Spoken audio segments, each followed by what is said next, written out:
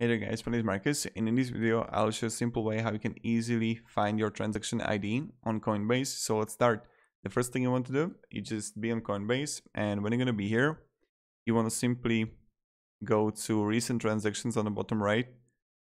You see right here. And then I gotta see click on whatever transaction I have. And then you're gonna see it here, view transaction.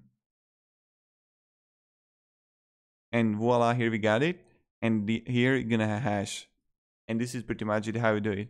If this video was was useful you can support me and subscribe and thank you very much everybody for watching. Uh, i hope you're having a great day and if you have any questions ask me down in comments. But again if you find this video useful subscribe because i love creating cryptocurrency tutorials. And yep goodbye